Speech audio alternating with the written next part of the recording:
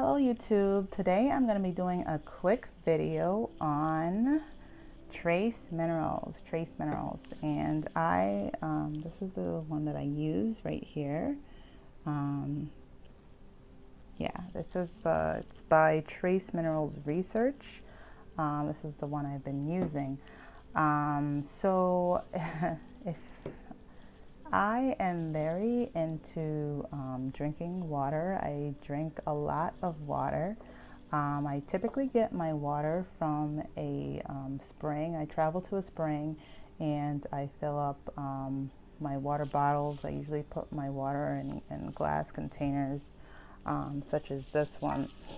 Um, so I'm very into drinking water.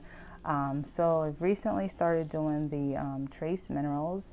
Um, so first of all, spring water um, already contains a lot of natural um, minerals, trace minerals in there. So um, me um, putting trace mineral drops into my water is merely a enhancement to the minerals that are already contained in the spring water. sometimes I do drink um, distilled water and it becomes a lot more beneficial for putting in um, trace minerals and nutrients back into the water because basically when you distill the water um, you basically strip it of everything good and the bad. So you also strip out all the um, nutrients in the water as well. So it becomes uh, very beneficial um, to add some type of um, nutrients back into your water. Um, trace minerals are very beneficial for that.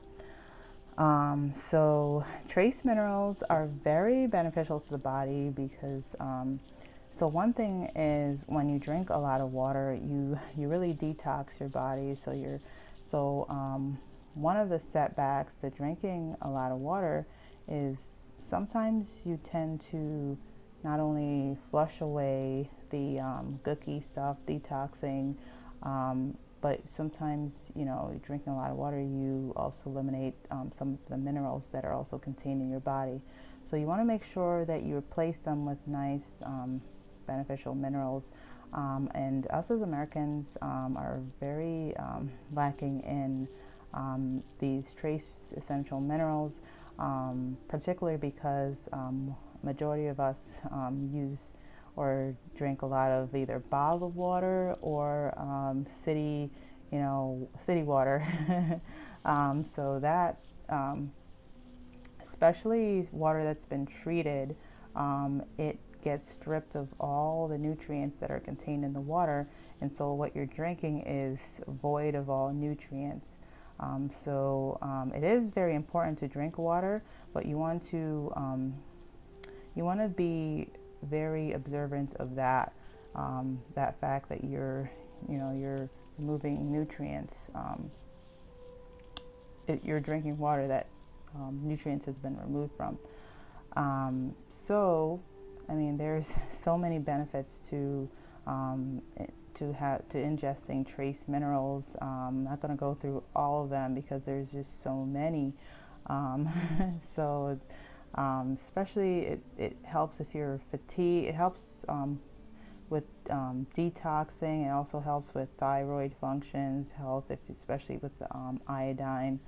Um, if you have any type of cell damage or any um, type of free radicals that are going into your body, it also helps with any type of antioxidants in your body. So there's so many benefits and it's really not going to go over the all the health benefits to um, using minerals um, or even trace minerals, especially hair loss. Hair loss is a big one too. Um, hair loss or just um, pain and um, heart disease is also a big one. You know, um, reason to if you're lacking in minerals to try to supplement uh, with minerals. so.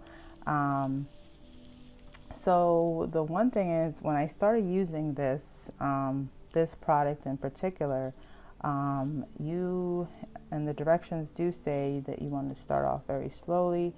Um, I have a tendency to not start off as slow as you're supposed to start off or Um, I actually did start off pretty slow because this says um, like typically to use um, 40 drops per day.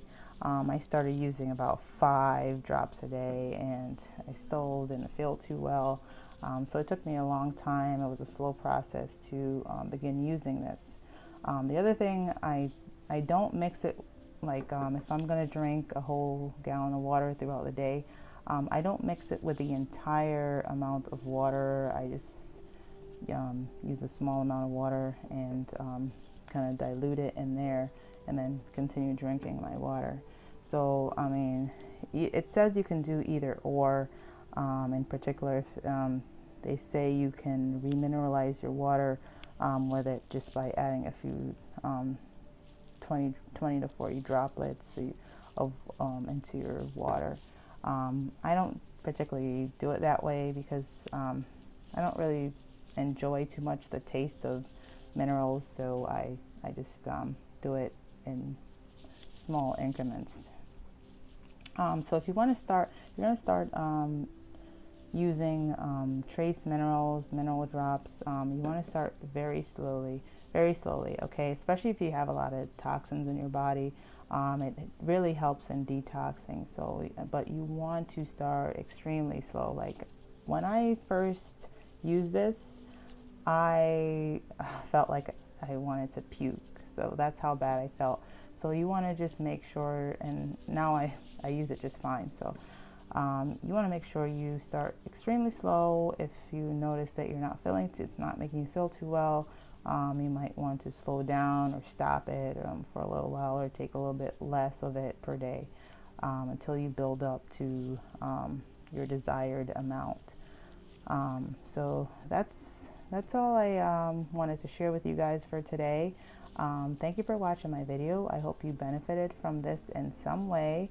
Um, if you did, please um, thumbs up the video. Um, and if you want to hear more beneficial videos such as this one, um, please subscribe to my YouTube channel. Um, thank you for watching my video and have a great day.